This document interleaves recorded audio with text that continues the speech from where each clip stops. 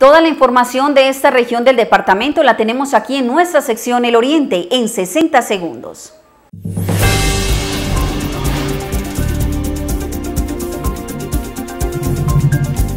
Autoridades desmantelaron una red de trata de personas denominada Los Comisionistas, encargados de captar niñas y adolescentes de escasos recursos económicos de Medellín para ser enviadas a los diferentes municipios del departamento, entre ellos el Santuario, La Unión y San Rafael, donde eran explotadas sexualmente vivienda utilizada para el consumo de drogas fue demolida en el municipio de El Retiro. Con seis impactos de arma de fuego fue ultimado en la noche del miércoles 21 de febrero un hombre en el municipio de El Peñol. En el Carmen de Viboral fueron capturados alias El Pájaro y alias El Flaco, señalados de secuestrar a un conductor del municipio el pasado 27 de enero. Una iniciativa privada tiene a Abejorral a portas de ser certificado como un municipio libre de plagas cuarentenarias se trata de un cultivo de aguacate Hass que, como parte del plan de acción para la exportación, está librando de plagas a sus cultivos y a los predios vecinos.